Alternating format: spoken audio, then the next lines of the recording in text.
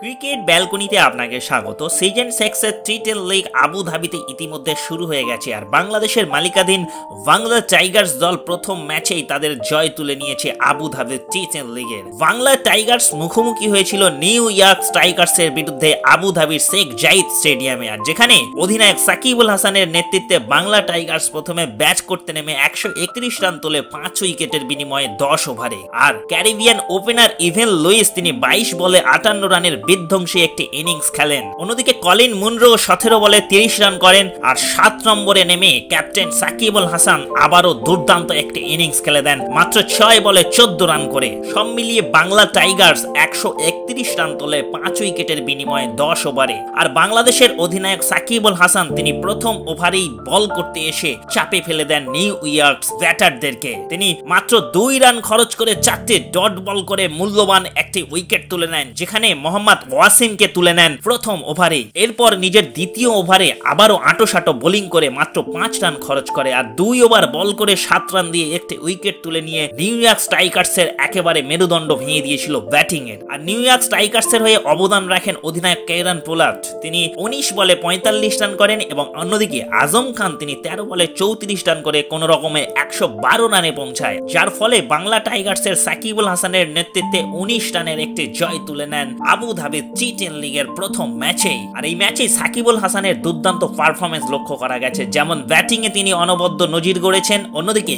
Bowling এও তার আক্রমণের মুখোমুখি হয়েছে নিউ ইয়র্ক স্ট্রাইকার্স ক্রিকেট ব্যালকনিতে সময় দেওয়ায় আপনাকে অসংখ্য ধন্যবাদ।